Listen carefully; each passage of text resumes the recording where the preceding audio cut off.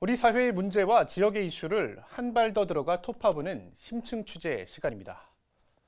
장애인 일자리 사업은 취업 취약계층인 장애인에게 사회 참여 기회를 확대하고 또 일정 소득을 보장하기 위한 사업입니다. 전국 지자체 대부분이 올해 장애인 일자리 사업에 참여할 희망자를 모집했거나 모집 중인데요. 모든 일자리가 그렇듯 장애인 일자리 사업 역시 일단 만만찮은 신청 서류의 장벽을 넘어야 참여가 가능합니다. 오늘 심층 취재에서는 장애인 일자리 사업에 참여를 위한 첫 관문인 제출 서류의 접근성에는 문제가 없는지 짚어보겠습니다. 자, 먼저 보실 것은 전주시에서 공개한 제출 서류 서식입니다. 참여 신청서에서부터 개인정보 수집 동의서, 참여자 정보 확인서까지 우리가 흔히 접하는 이력서 내지는 신청서와 별반 다르지 않게 복잡하죠. 그렇다면 만약 발달장애인이 사업에 참여하기 위해 이 문서를 확인했다면 과연 이해하기 쉬울까요? 여기에서 이런 질문도 가능하겠네요. 주변에서 도움을 주거나 누군가 대신 작성하면 되는 것 아니냐?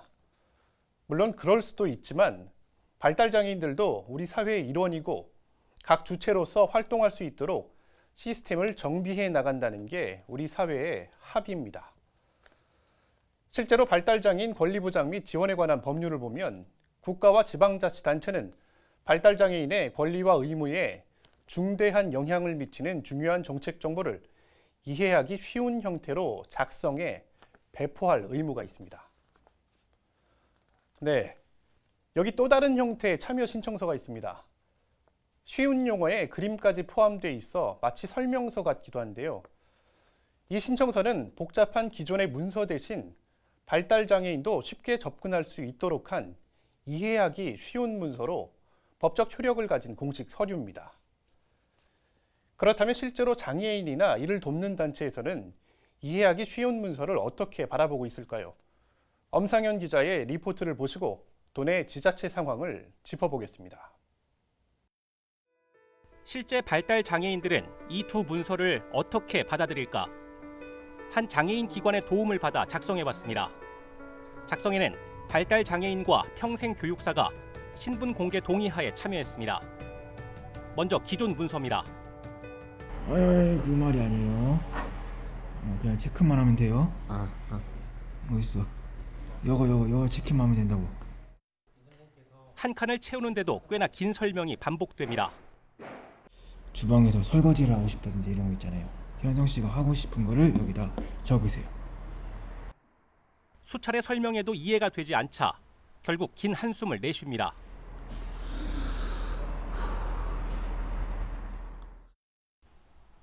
이번에는 이해하기 쉬운 문서로 작성해봤습니다. 하루 8시간 일하기. 8시간보다 짧게 일하기. 네. 자, 체크하시고.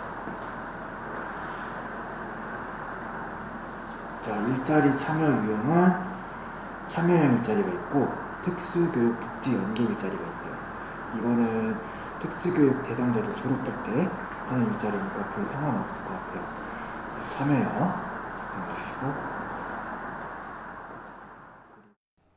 기존 문서 작성 때와는 달리 이번에는 거의 막힘없이 나열된 항목을 채워나갑니다. 네, 기존 일반 서식으로 참여 신청서와 개인정보 활용 동의서를 작성하는데 약 1시간 10분 정도가 소요됐습니다. 하지만 알기 쉬운 문서로 다시 작성을 해봤더니 걸린 시간 단 20분도 채 되지 않았습니다. 기존 서식의 약 4분의 1로 작성 시간이 줄어든 겁니다. 자, 이거 두 가지를 작성해봤는데 네. 이게 쓰기가 편했어요? 이게 쓰기가 쉬웠어요? 이거 왜요? 음, 이해하기 딱 좋을 거예요. 음, 이거는 어땠어요? 그 서면대가 좀 길었어요. 작성을 도운 평생 교육사 역시 두 문서의 차이점은 확연했다고 말합니다. 아, 일단 기존 문서는 너무 물론 세밀하게 알아보려고 이렇게 해놨겠지만 설명하는 사람 입장에서는 너무 양이 많고요. 일단 신청서 하나만 작성하려고 해도 시, 뭐 일자리 유형이 써야 되고 이런 것들이 있다 보니까 너무 설명하는 사람 입장에서 너무 힘들어요. 이해하기 쉬운 문서. 말 그대로 기존 문서에 비해 발달 장애인의 이해 정도가 빨랐고 더 효율적이었습니다. 더 이상 기존 문서를 고집할 이유 없습니다. 다른 설문조사 같은 경우에도 저희가 발달장애인 분들을 위해 그게 저희가 이미지화를 해가지고 다 진행을 하고 있어요. 근데 그런 걸 해도 조금 시간이 걸리는 부분이 있는데 사실 기존에 하던 신청서로는 사실 그 이제 신청하시는 분들 장애인 당사자 분들이 특히 발달 장애인 분들이 이해를 하고 작성을 스스로 하기에는 더 어려움이 있다고 봐야죠. 네, 보건복지부는 지난 2018년부터 이해하기 쉬운 문서를 장애인 일자리 사업의 공식 서식에 포함해 배포하고 있습니다. 또 매년 장애인 일자리 사업을 시행하는 지자체를 대상으로 교육도 벌이고 있다는 게 복지부의 설명입니다.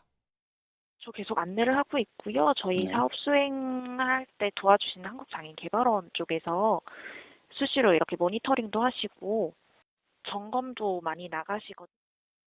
그렇다면 도내 지자체들은 이를 잘 활용하고 있을까요?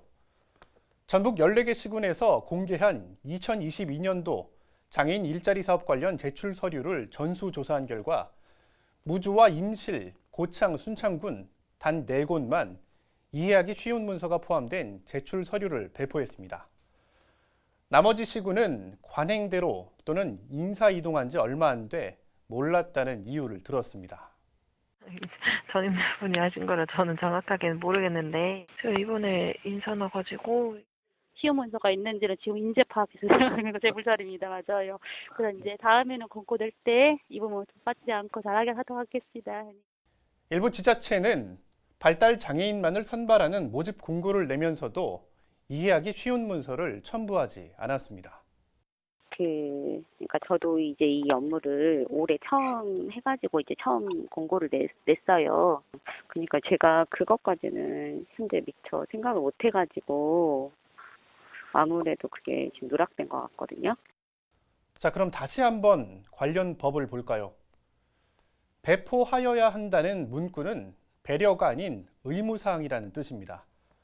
하지만 벌칙 조항이 따로 마련돼 있지 않아 관행이었다, 실수였다는 말로도 그냥 넘어갈 수 있었던 건데요.